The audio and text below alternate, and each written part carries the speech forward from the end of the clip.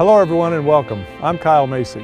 I'm standing here on the floor of Rupp Arena, but if you look high up into the rafters, you'll see banners hanging with the jerseys of some of the greatest names of Kentucky basketball history.